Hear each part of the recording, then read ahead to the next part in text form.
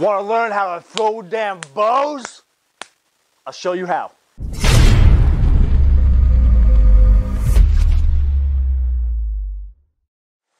What's up? I'm professional fighter Sean Fagan from MuayThaiGuy.com and today I want to walk you through a six elbow combination that breaks down six different varieties of elbows inside the world of Muay Thai. All right, before we start throwing the elbow combos, there's two things I want you to keep in consideration.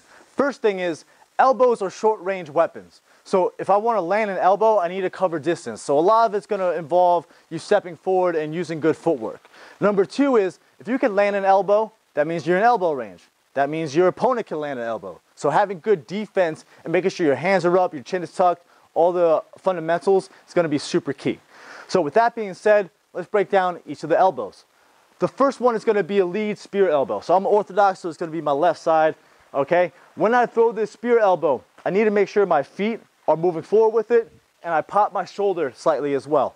The idea is I want to have my hand on the front of my head like this. This way it gives me the, the most range. Some people teach it to have on the side of the head, but why have it on the side of the head? Because then I have more uh, opportunity to get punched in the face or elbowed in the face with a spear elbow. Also, my range here is different than my range here. It's only like, like an inch, but it makes a big difference. So I have my hand on the front of my head here. I'm just gonna shuck my shoulder forward slightly, okay? Now, another thing when it comes to elbows is you don't have to throw them super hard. Yeah, if you want to throw them hard, you can, but just getting hit with an elbow, if you've ever been hit with an elbow, it hurts even if it's just a little shuck like that, okay? So the idea with the spear elbow, my hands on the top of my head, I'm just gonna step forward. A lot of the power is gonna come from the step forward. So I'm gonna step forward and just boom, just pop my shoulder forward. Then from here, I'm gonna throw a tomahawk elbow. This is gonna come up and then down. You're ideally aiming for like the, the collarbone. You could break someone's collarbone or the top of the head. If you want to do a jumping uh, tomahawk, you can do that as well. You've seen uh, Jonathan Haggerty land this uh, in a fight and it was so sexy. So anyway, you're gonna throw spear elbow, tomahawk elbow. So watch my footwork again. So as I throw the spear, I step, okay? As I throw the tomahawk, I step as well.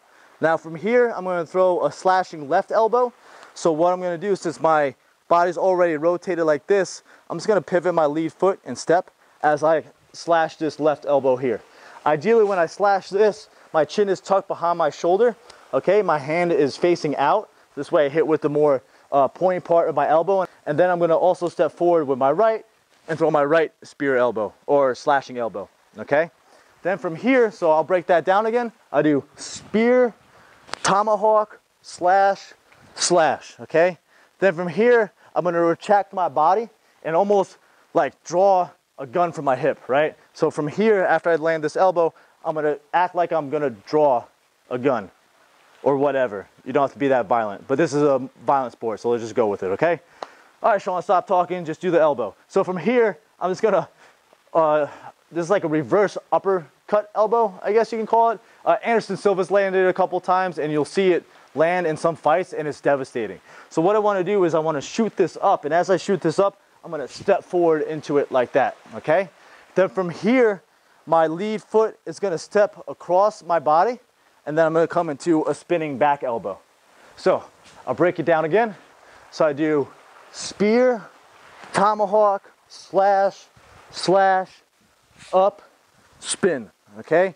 When I throw the spin, the idea is I want my body to be rotating and I want to see where my opponent is.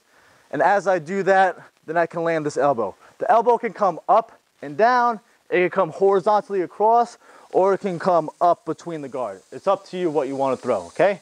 So I'll do this a couple times, nice and slow. Spear, tomahawk, slash, slash, up, spin. I'll do it coming at you now. Better watch out. Ready? So spear, tomahawk, slash, slash, up, spin. Okay? Those are six of the most common elbows you'll see in Muay Thai. Obviously, there's a little bit more, but practicing this type of combination will get you more familiar. Uh, you'll feel like a badass, and hopefully you'll be able to land them in a fight in sometime in the future.